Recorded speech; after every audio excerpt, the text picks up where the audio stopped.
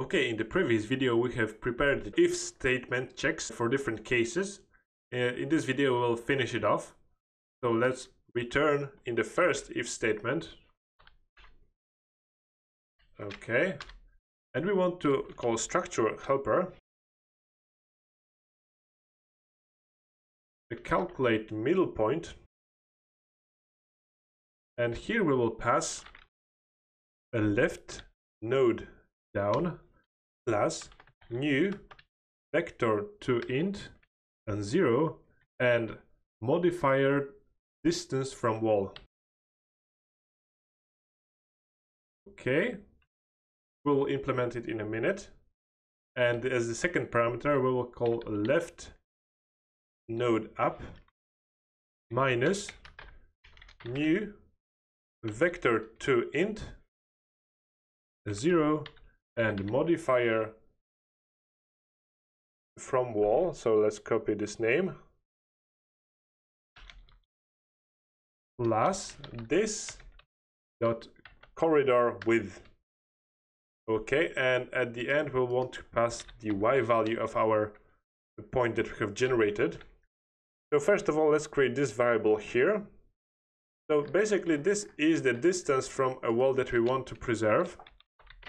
Int modifier distance from wall and let's say, set it to 1. Uh, we could expose it and set it in the corridor node. But basically this is that we don't want to immediately create our uh, corridor at the uh, corner, but rather we want some distance from it. Okay. So now we need another brace at the end of this statement. And now we need to generate this calculate middle point. So let's alt enter, generate this method. And let's go to structure helper and implement it. Okay, so this will be pretty simple method. So let's change this to v1 and v2. Let's change the definition to be public. And what we need to do is calculate a vector 2 sum equals vector v1 plus v2. And do we have to cast those? No, I don't think we have to. Great.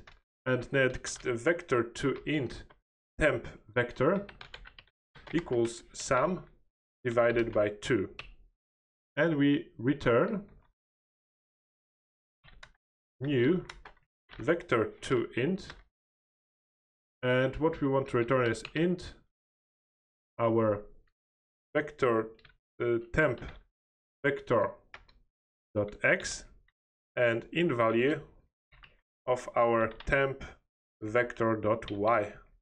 And let's change the name to be uh, lowercase e.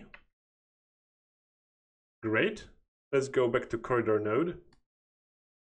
So we have this point and what is going on here? I think we are returning the wrong value here. So let's go to the definition and we are returning object when we want to return vector to int.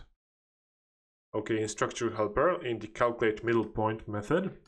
Great, now we can go back to corridor node and we have it all working. Okay, let's copy this statement. Let's paste it below. Let's delete the values that we pass.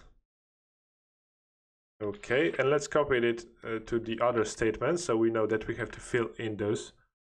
And let's start from the second if statement.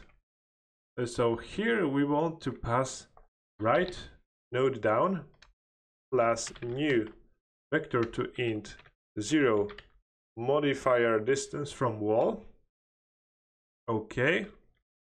And as the second parameter, we want to pass right node up minus new Vector2Int 0 modifier distance from wall plus this dot corridor width close the brace.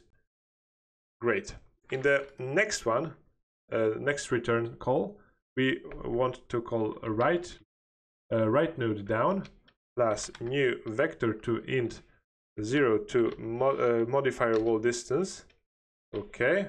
And as the second parameter, left node up minus new Vector2Int 0 and modifier distance from wall. Okay, great. Let's delete this line. And last, uh, in the last case, we want to return a left node down plus new vector to int 0 to modifier distance from wall close the brace and below we want to pass a right node up minus new vector to int 0 modifier distance from wall plus this dot corridor width now i'm sure it was pretty fast that i explained this but if you think about it for a minute i think you can come up with why those values are passed here because we need to pass appropriate points for the calculation and at some points when this is maximum value we want to uh, reduce it uh, by this modifier distance from the wall and by the corridor width to not go over uh, the maximum point. Okay, now with that done, let's return to our process room in right-left relation. And at the end, we need to check if our possible neighbor's right structure is uh, greater or equal to zero, or if it is less or equal to zero, we need to set our right structure to be structure 2 and we need to call count on it so else we want right structure to be equal to possible structures 0 and now our issue where we do not know if those two rooms can match. So we will need to implement uh, first we need to calculate the y value uh, so get valid y neighbors for left and right and we will simply pass left structure dot top right area corner and left structure dot bottom right area corner. Okay let's format it a bit. And next we will want to pass right structure that we have recently found. Top left area corner and our right structure dot bottom left area corner. So we now have calculated the y value that is a possible value for our uh, corridor position. And we need to check, well, y is equal to minus 1. So what happens in case where those two rooms can't physically uh, match because they are not neighbors? Well, if sorted list left structure dot count is greater than 0, we can simply uh, sorted list structure called sorted list structure equals sorted left structure where and again sorted and called child such as child top left area corner dot y is different than left structure dot top left area corner dot y and at the end we will call simply ToList. So we simply delete current structure from our list. So now left structure equal sorted left structures 0. And basically we should probably check here if it is greater than or equal to 1. Well, it is greater than 1, so to not end up with no structures left. Okay. And then we can get y equals get again the, this we need to call and something went wrong here uh, so change the right structure okay and we need to again calculate y value here as well and until we get the other value then minus 1 so you might ask what happens when there are no structures and we end up with minus 1 well basically there shouldn't be such a case but if there is, nothing uh, that I know of will happen. So the corridor will stay in this position of minus 1. Okay, so bottom left area corner equals, now we set the new corners for our corridor. so it can be created.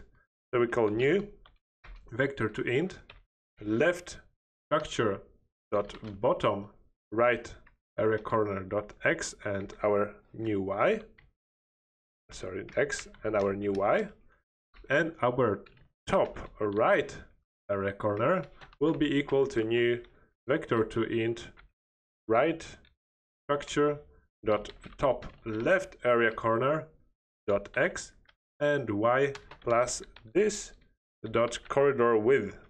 So basically we start okay so, uh, i didn't add the comma here. Basically we start at the bottom left area corner. It will be the most uh, the left structure that we have found at its position x and our y calculated and it will end in the uh, position x of the right structure and the corridor width uh, we add to the y value to make sure that the corridor is large enough uh, for us to pass it. Okay, so we are done with this part. Uh, the good news is that we have the same amount of code to write for the up and down direction. So as of now, the GitHub repository should be updated by the files that we have created right now. And uh, I strongly encourage you to copy the code for the up and down version from there. And in the next video, I will simply rewrite this into our code. And the next next video will be visualizing our work, so our corridors and our rooms at the same time. So you can start from the next next video and just simply copy the code from the GitHub. So see you in the next video.